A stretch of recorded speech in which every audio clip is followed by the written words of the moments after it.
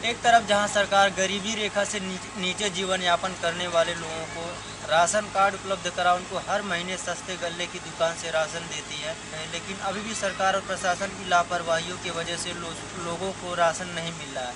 कई ऐसे गाँव हैं जहाँ पे लोगों को पता ही नहीं राशन कार्ड क्या होता है और राशन कैसे मिलता है। और इसका सबसे बड़ा उदाहरण गाँव है अचलगढ़ जहाँ पे पुश्तों से लोगों को राशन का राशन मिल ही नहीं रहा। इसके सबसे प्रभावित व्यक्ति हैं दयाराम।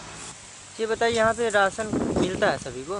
नहीं यहाँ पर कुछ भी नहीं मिलता। है यहाँ पे कुल कितने लोग रहते होंगे? यहाँ तो लगभग कुछ आदमी तीन सौ से ऊपर है।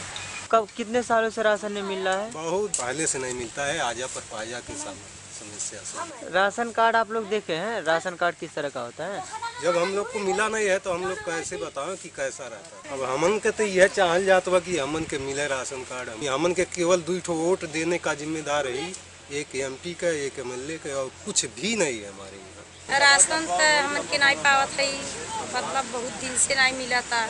खाली मिट्टी तेल भर मिला था और कुछ नहीं बहुत दिन से कितना दिन से लगभग दस साल हो गई नहीं जानते कि मिट्टी तेल भर खाली पावत है। राशन कार्ड बना आप लोगों का? नहीं राशन कार्ड नहीं बना खाली मिट्टी तेल भर मिला। राशन हमन के मिले सुविधा मिले कौन सुविधा नहीं बा हमन के जंगली समझ के सब नहीं मिला था। आप कौन से ग्राम सभा में रहते हैं? ग्राम सभा में बटले नहीं बा। कौन सा गाँव है ये? तो चढ़गढ़ नर्सरी है निपतवा गाँव है समझ ले। यहाँ पे राशन सबको मिलता है? यहू को नहीं मिलाला। कितने सालों हम ए, बहुत दिन से हमें राशन फासन कबू नहीं मिलल बा नर्सरी है नहीं।